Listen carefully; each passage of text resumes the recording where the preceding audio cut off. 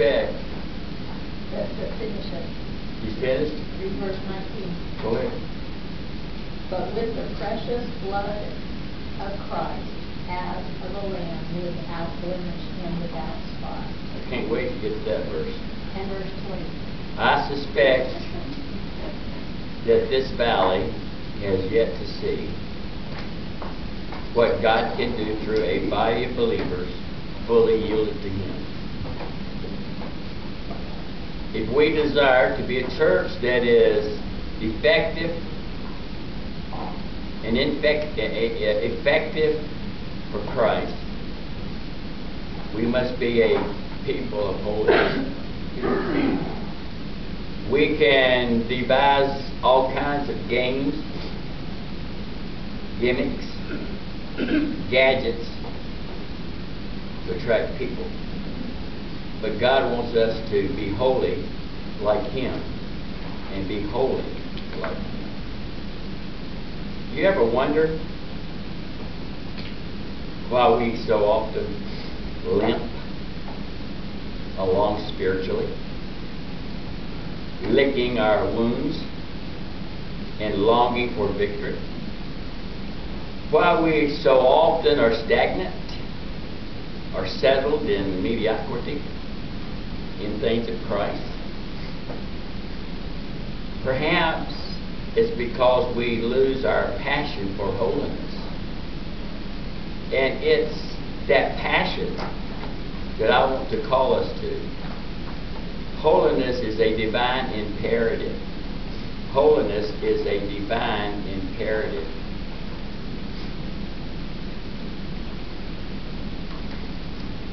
Well, maybe I'll call your attention to it.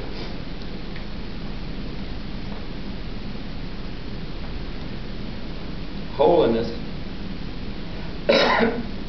has to do with the heart. 635 times. Not quite dry. 635 times. I usually don't sit. The word in the Greek for holy is mentioned. Sanctified, sanctification, holy are terms that are used in the same Greek word. Holiness has to do with the heart. The heart is the center and the focus of our interpersonal being. Holiness is something that starts on the inside. It's the source of our motivation. It's the seed of passion. It's the spring of all thought processes, and particularly of the conscience. Holiness starts inside a person with a right purpose that seeks to express itself in a right performance. Holiness starts inside a person with a right response, right purpose that seeks to express itself in a right performance. It is a matter not just of the notions that I go through or the motions I go through, but of the motives that prompt me to go through them. That's so essential. A holy person motivation and aim and passion and desire and longing and aspiration and goal and drive is to make money, to be famous, to build a legacy. No way man's, no grunts. Is to please God my very existence as a Christian has one purpose, and that is to please God. What if every single Christian, quote, in the world, their aim was to please God? Both by what he does and by what one avoids doing. In other words, one practices good works and cuts out the evil ones.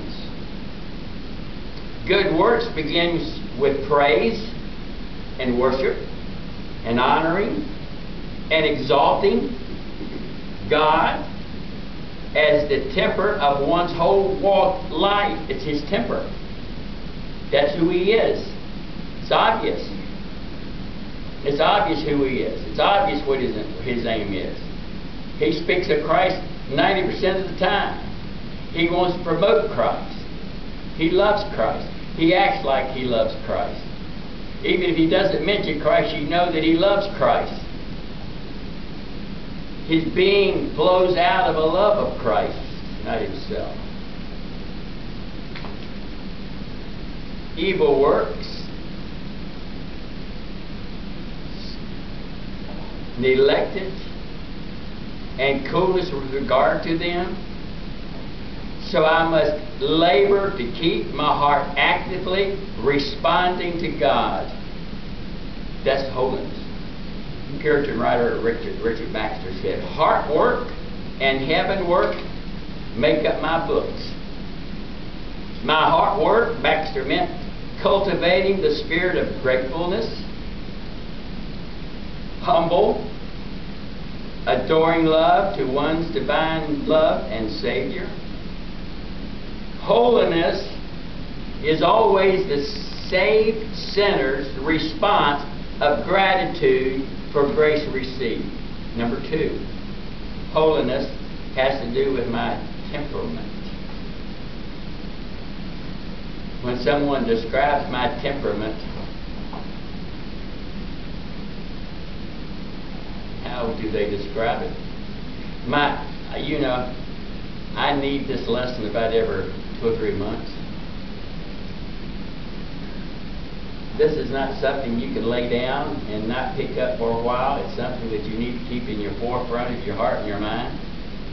My temperament, I mean that factor facility that makes specific ways of reacting and behaving naturally to me.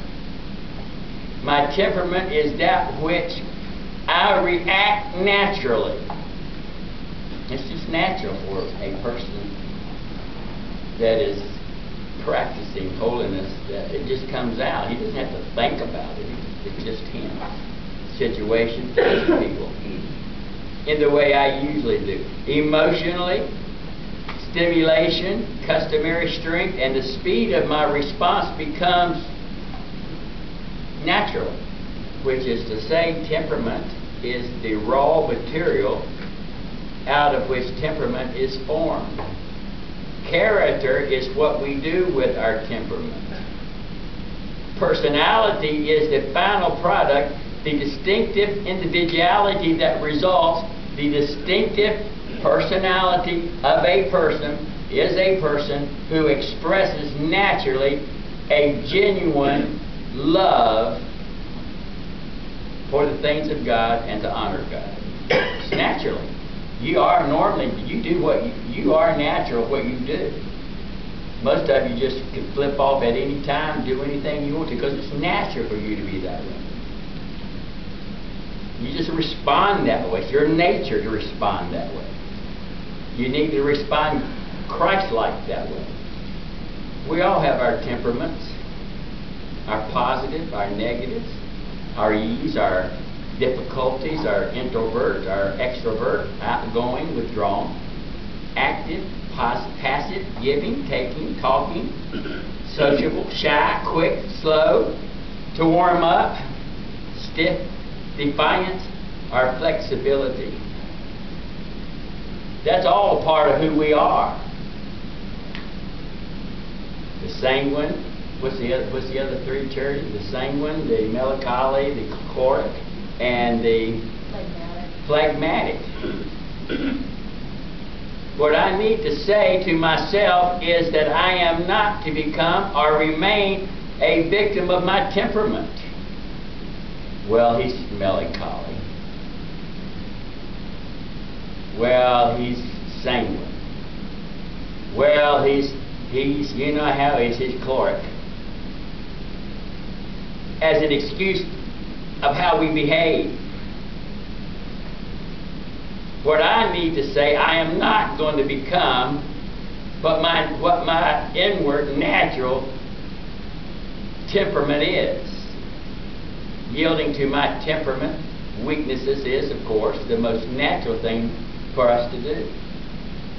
And is therefore the hardest sort of sin for me to deal with and detect. But holy humility, as I see it in Jesus Christ, combines in itself the strengths of all four temperaments without any of the weaknesses. Terry and I have gone through that course too many times. The Four Temperaments by Tim LaHaye. If you learn your temperament and learn the weaknesses and learn the strengths, then you can learn yourself. Regardless of that, what you need to learn, I am not going to fall back on my weaknesses of my temperament and say, well, it's just my temperament. That's not practicing holiness. I must try to be like Him in this and not indulge in the, particular behavior flaws that people will say that's just my temperament. And it just comes out in me. Well, it may just come out into you, but you need to stop it at the door and don't let it get out. You say, well, I can't help it. Don't. Uh, have you read the Bible lately? There's no temperament that you have that you can't correct. There's no habit that you have that you can't correct if you try it. Thirdly, holiness has to do with my humanness. We know him as both the mediator of divine grace and the model of human godliness. Another word for holiness is godliness, pursuit of godliness. What is human godliness? This godliness that is true holiness, as seen in Christ. It is simply human life. It is simply human life lived out as God intended. It is perfect and ideal humanness. I am a human. I'm human. I am a human person living out my humanness.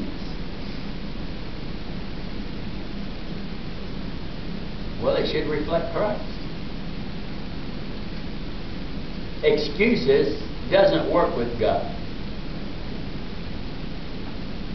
It is an extension in which the elements of a human person completely unite in a totally God honoring and a nature filled way. It is finding myself